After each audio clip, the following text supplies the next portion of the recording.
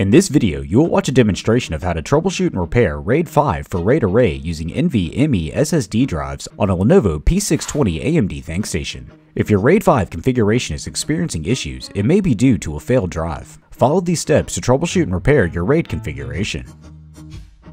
Reboot your ThinkStation P620. Repeatedly press F1 to enter BIOS. Select Devices. Select RAIDXpert2 Configuration Utility. Select Array Management. Select Manage Array Properties. Select the RAID Array Array 2 from the menu. The broken array will show as critical. Select View Associated Physical Disk to see which disk is no longer detected. The drive no longer working will show as removed physical disk. After replacing the broken drive, go back to the Array Management. Select Manage Array Properties. Select Manage Dedicated Hot Spares. Select the new replacement drive click Add Hot Spare Physical Disk, and then select Confirm, and then Yes.